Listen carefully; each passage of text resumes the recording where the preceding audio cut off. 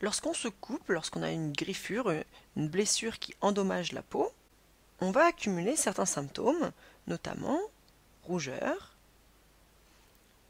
gonflement. On peut ressentir également une certaine chaleur au niveau de la plaie et de la douleur. Ces symptômes sont regroupés sous ce qu'on appelle l'inflammation.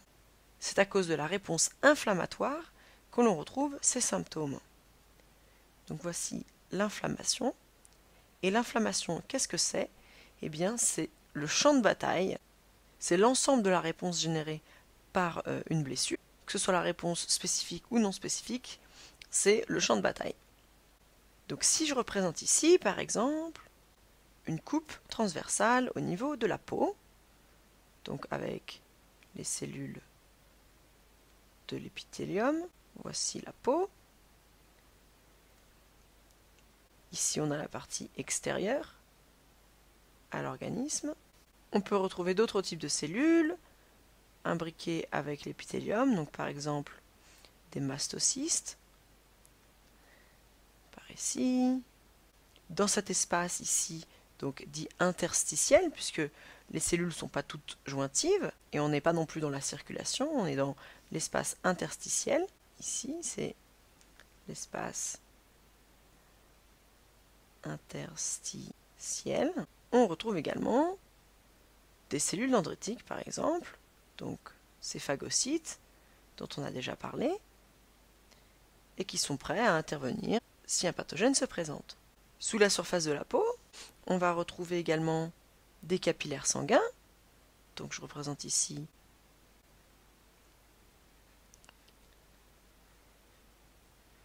Voici l'endothélium. L'endothélium, c'est l'enveloppe des capillaires sanguins. Voici la deuxième paroi. Et à l'intérieur de ces capillaires circule le sang avec notamment donc, des globules rouges, mais aussi des globules blancs. Si par exemple la peau est percée par euh, un vieux clou, on, se, plante un vieux clou sale dans la main, on va percer la peau, au passage endommager certaines cellules, mais en plus, au niveau de ce clou, il y aura des bactéries qui vont du coup être libérées à l'intérieur de la plaie et va commencer la réponse inflammatoire. Les cellules blessées ici vont libérer des substances qui sont des chimiokines. Les mastocytes vont également libérer leurs propres protéines de signal d'alarme qui sont les histamines. Alors, histamine, c'est un nom peut-être familier. Quand on parle d'antihistaminique, par exemple, en cas d'allergie, eh c'est pour lutter contre ces histamines. Les histamines, elles sont responsables de la vasodilatation. Ce sont des molécules vasodilatatrices. Elles vont opérer la vasodilatation.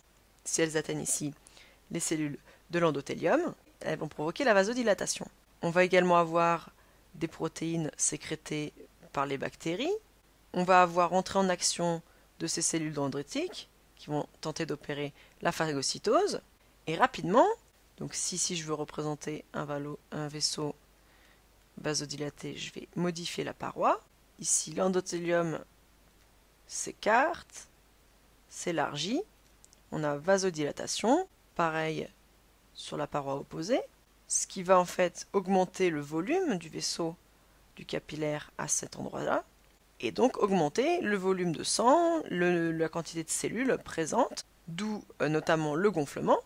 Et parmi ces cellules, notamment les neutrophiles, qui eux sont attirés par les chimokines. Les chimokines fonctionnent comme des aimants à neutrophiles. Et donc les neutrophiles vont, par diapédèse, se faufiler entre les parois, entre les interstices des parois, et passer comme ça dans l'espace interstitiel pour repérer donc la partie réponse non spécifique, la phagocytose, des protéines toxiques, des, des, bactéries. Donc on a diapédèse des neutrophiles. Mais également d'autres types de globules blancs, comme les lymphocytes, peuvent également passer, ainsi que des fluides, et notamment les protéines du complément qui sont présentes en circulation donc on n'a pas encore parlé de, protéines du complément, mais elles font partie de la réponse non spécifique, sont des protéines qui vont venir euh, s'attacher et euh, tuer, aider à l'élimination de pathogènes tels que les bactéries. Les changer dans les deux sens, on va également avoir pénétration euh, à l'intérieur de la circulation des différentes chimiokines, histamines, protéines sécrétées qui vont recruter davantage les effecteurs de la réponse immunitaire, tout type de lymphocytes. C'est le branle-bas de combat général. On a à la fois la réponse non spécifique, opérée par les neutrophiles, les cellules dendritiques, les protéines du complément, les mastocytes, donc pour éliminer euh, les cellules euh, abîmées, pour éliminer les pathogènes présents, et également activation de la réponse spécifique, avec arrivée sur le site également des lymphocytes. C'est pour ça que je n'en ai pas parlé avant de l'inflammation. La réponse inflammatoire, qui est catégorisée comme non spécifique, puisqu'elle est déclenchée quel que soit euh, le, pathogène, elle regroupe en fait tous les types de réponses. En plus, l'immunologie et l'inflammation sont des champs encore en cours de recherche. Les chercheurs découvrent encore de nouveaux aspects, des nouveaux fonctionnements, mais l'inflammation et ses effets bénéfiques ou délétères n'est pas encore complètement connue. Voilà, j'espère que cette série de vidéos t'aura intéressé et t'aura apporté de bonnes connaissances sur le système immunitaire.